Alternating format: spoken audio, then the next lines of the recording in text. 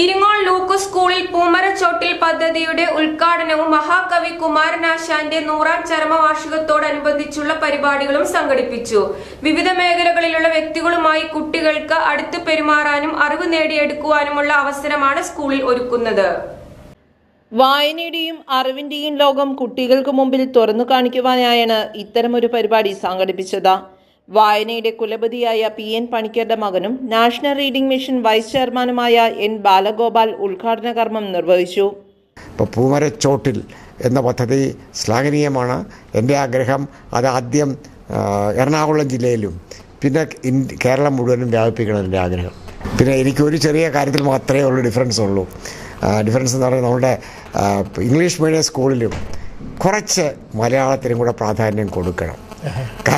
കാരണം Malayalam is our mother tongue ആ mother ടങ്ങും നമുക്കൊന്ന് പിന്നെ അവരെ കൂടെ വികസിപ്പിക്കണം.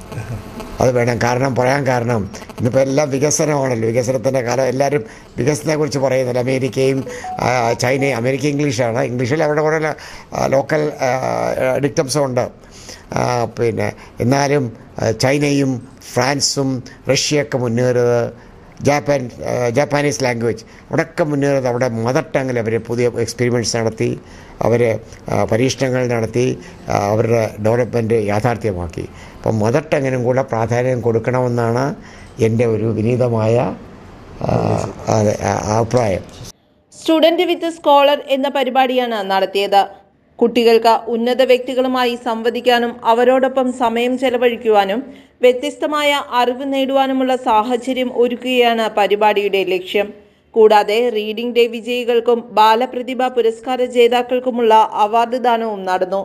School principal doctor M K Abdul Sattar അധ്യക്ഷനായ ചടങ്ങിൽ പ്രിൻസിപ്പൽ ഇൻചാർജ് സൂസി സ്റ്റീഫൻ സ്വാഗതം പറഞ്ഞു.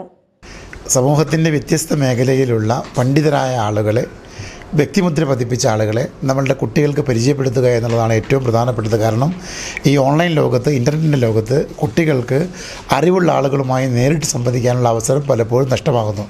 സാധാരണഗതിയിൽ ഔപചാരികമായ പരിപാടികൾ വരികയും ആ പരിപാടികളുടെ ഇടയിൽ വരുന്ന ഗസ്റ്റിന്റെ സമയം നമുക്ക് പലപ്പോഴും നഷ്ടപ്പെടുകയും ചെയ്യും. ഇത് വ്യത്യസ്തമായി ഗസ്റ്റ് വരികയും കുട്ടികളുടെ മുമ്പിൽ ഇരുന്ന് കൊടുക്കുകയും കുട്ടികൾക്ക് ഇഷ്ടമുള്ള ചോദ്യം അവരോട് ചോദിക്കാം. വ്യത്യസ്തമായ മേഖലയിലുള്ള ആളുകളോടുള്ള ചോദ്യമാണ് ഈ ഗസ്റ്റിനെയാണ് നമ്മളൊരു പൂമരമായിട്ട് കാണുന്നത്.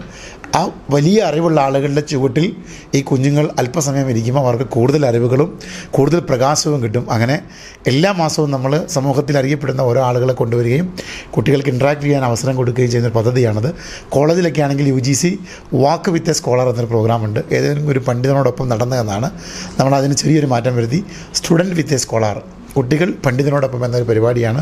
സാധാരണഗതിയിൽ നമ്മുടെ നാട്ടിലിപ്പോൾ ഒരു പ്രത്യേകത ഏതെങ്കിലും അറിവുള്ള ഒരാൾ എന്തെങ്കിലും ഒരു കാര്യം പറഞ്ഞാൽ നമ്മൾ സാധാരണ പറയും തള്ളു തുടങ്ങി എന്ന് പറയും തള്ളു തുടങ്ങി എന്ന് പറയും അങ്ങനെ പറയും കുട്ടികൾ അത് മാറി ഈ പറയുന്ന കാര്യങ്ങൾ നമ്മൾ കേൾക്കുകയും ഇപ്പം പണിക്കർ സാർ പോലത്തെ ആളുകൾ എഴുപത്തിനാല് വയസ്സുള്ള ഒരാൾ വരുമ്പോൾ എഴുപത്തിനാല് വർഷം കൊണ്ട് അദ്ദേഹം നേടിയ ആർജിച്ച അറിവ് നമ്മുടെ പന്ത്രണ്ട് പതിമൂന്ന് വയസ്സുള്ള കുട്ടികൾക്ക് ആ പ്രായത്തിൽ അത് കിട്ടും. ഇങ്ങനെ മുതിർന്ന അറിവുള്ള ആളുകളുടെ അറിവ് ഏറ്റവും പെട്ടെന്ന് എക്സ്പ്ലോർ ചെയ്യുക എന്നുള്ളതാണ് ഈ പൂമരച്ചോട്ടിൽ എന്ന പദ്ധതി കൊണ്ട് ലൂക്ക് മെമ്മോറിയൽ സ്കൂൾ ആഗ്രഹിക്കുന്നത്.